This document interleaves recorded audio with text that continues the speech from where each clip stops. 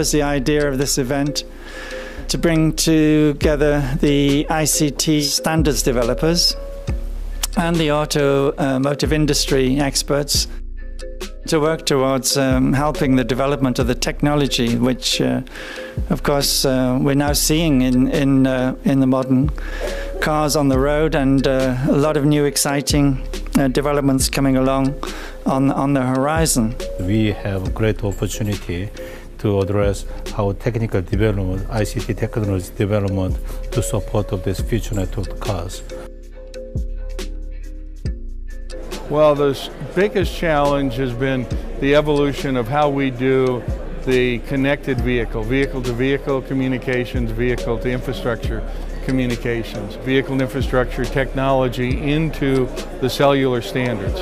That's now been accomplished and we're working through with the car companies and the regulators to look towards hopefully by about 2020 having those technologies automatically included in all cars that get manufactured in the major countries in the world. You want to see some autonomous driving, you can go to Gothenburg.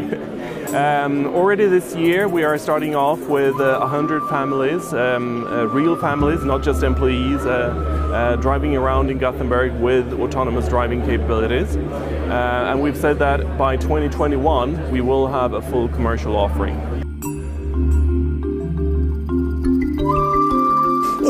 Imperative uh, to work together with other sectors. And when we speak about autonomous vehicles and connected cars, um, it's, it's inevitable that uh, ITU and the ICT uh, providers as well as the UNECE and the mobility uh, people talk to each other and they consider future regulations together.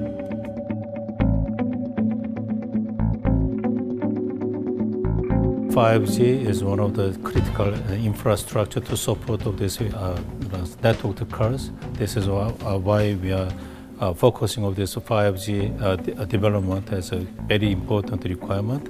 Uh, but also this IoT is developing many of areas. So how we can ensure this security over the air, so down of these vehicle softwares. This is another part.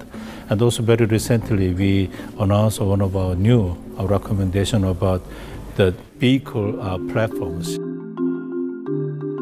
You will not have a secure vehicle unless you have connectivity and uh, software update capability because there's so much code in cars, it's already buggy when it leaves the factory. It's going to need to be uh, protected. There is, in the car industry, a very specific split on security. There is safety on one side, which is about uh, the reliability of the car from a security perspective, which is pretty much covered, calculations are okay, that works. And there is the cybersecurity, which is another world. And this one is actually uh, quite under risk when you see all the white hat, hat people who actually have managed to hack a number of cars in a number of ways. Uh, and the problem here is not that we cannot secure it, the problem is, is the economic cost.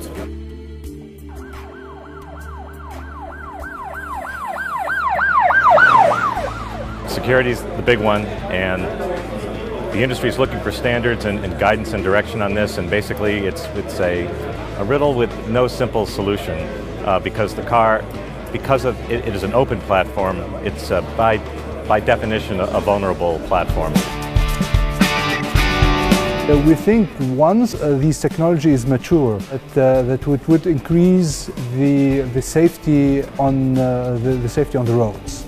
Uh, first, we think on the highway, so that would be, I think it would be have an immediate impact on the highway because the task of driving in the highway is quite a little bit easier than uh, to cities. And we hope that once the, the technology would increase in her, its maturity, that this would be also the case in an urban area and even in rural area. What's coming by the end of this year, early next year, will be the first implementations of intrusion detection systems, the kind of thing you take for granted on your phone or your desktop computer. We already see that the first sort of initial steps towards autonomous driving with all the different kinds of assistive uh, functionality that's available is helping a lot in terms of reducing risk.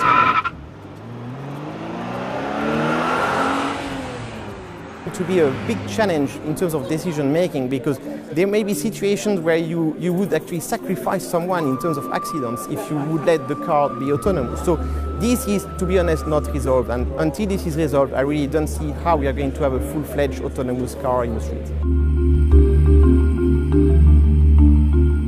I think it's going to take much longer than I hear. It's very, very complicated to put these pieces out. They can be done in tests in limited circles, um, even to get um, production cars that people can buy that would cover all expressways will probably be 23, 24. And local roads may be as late as 2030 or more before we can really get there.